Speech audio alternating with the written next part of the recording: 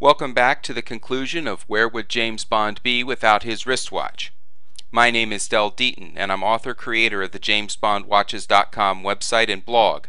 Following is part 6 of 6 of my presentation on James Bond watches to the 64th Annual Convention of the National Association of Watch and Clock Collectors in Grand Rapids, Michigan, June 13, 2009.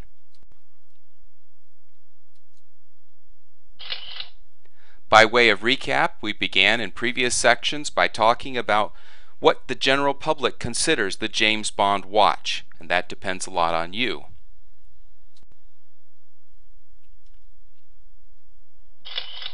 We moved on to the key complaints most commonly heard regarding James Bond movies in general, and the James Bond watch in particular. Uh, we talked about product placements.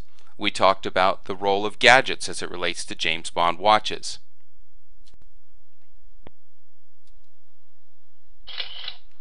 We looked at the original concept and work of Ian Fleming. How did Ian Fleming most utilize James Bond watches? The answer, of course, being to tell time.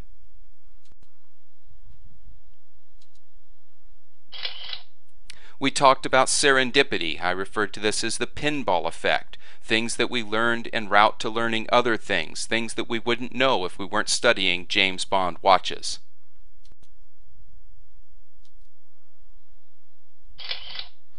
We talked about some of the key things that are associated with becoming a historian and what it means to research and create bulletproof definitions of James Bond watches, to do original research in the context of new films coming out and new watches being introduced, moving from uh, a website that contained just research to a website that had to be involved in breaking news as it happened.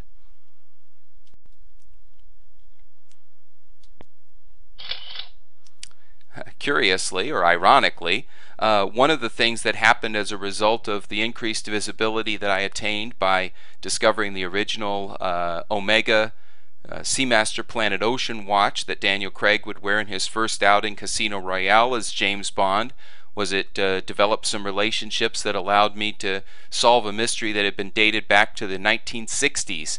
What was the original James Bond watch, the original James Bond Rolex? This was covered in Watch Time magazine as an exclusive in February 2009. The behind the scenes discussion of this was covered in the NAWCC Bulletin, June 2009. Uh, both of those in various forms are available now on the JamesBondWatches.com website.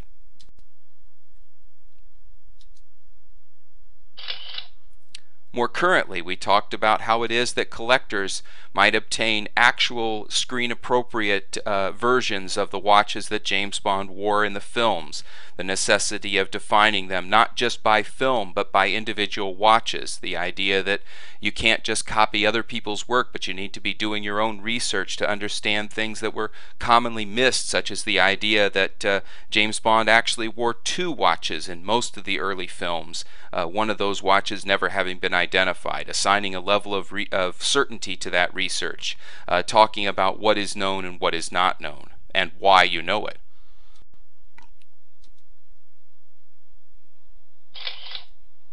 Okay, and sort of a la um, the Tonight Show uh, or the uh, the weeknight talk show hosts, uh, top 10 reasons to collect James Bond watches.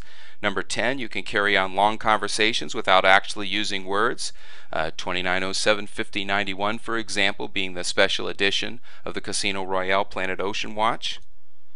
Unlike Walther PPK gun collectors, you can fantasize about being 007 without actually shooting yourself in the foot.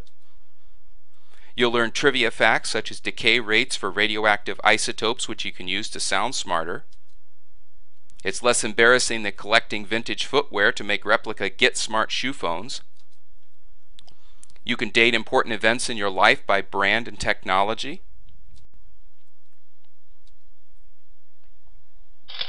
Reason number five, you can time your own carpet beater sessions for James Bond book and film scene reenactments. Would-be bullies can't be certain your watch doesn't have one of them laser beam gadgets. Collecting real-life watches is certainly less expensive than collecting real-life Aston Martins. Unlike taking a Bond girl to bed, you can wake up with one on your arm and not prompt your wife to see a divorce lawyer. And the number one reason to collect James Bond watches, your friends will find you easier to buy gifts for.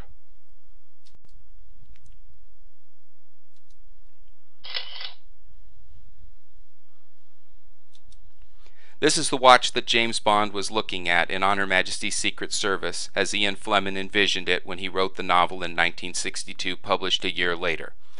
Is it a precision timekeeper or a secret agent knuckle duster? The watch in this photograph was produced perhaps as few as a, a, couple of hours before Ian Fleming's actual watch, no more than two or three days earlier by Rolex serial number dating. The watch dial that you're looking at here, the bracelet, all of that's original. This is what James Bond would be looking at. And then here's the quote from On Her Majesty's Secret Service. Bond's right hand flashed out, and the face of, of the Rolex disintegrated against the man's jaw. Rough justice. This was what Ian Fleming wrote at Goldeneye in 1962. I want to conclude by acknowledging people who have helped me out with this presentation by providing images, by providing resources, by being very generous with information. Uh, everything that uh, appears in this uh, uh, presentation is, is used with permission.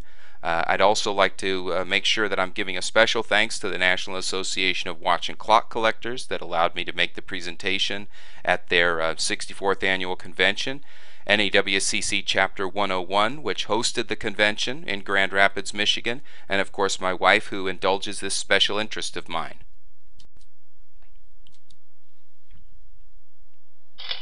James Bond moviegoers will remember this final quote. Uh, this is a great countdown scene from the 1983 movie Octopussy with Roger Moore as James Bond. The henchman notes as James Bond races by, that was Bond.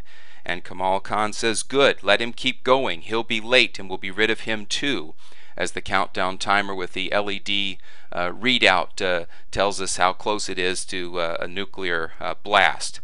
And like the movies promised, James Bond watches will also return, this time in Bond Watches, James Bond Watches, at the National Watch and Clock Museum in Columbia, Pennsylvania, opening June 17, 2010, and continuing through May 2011.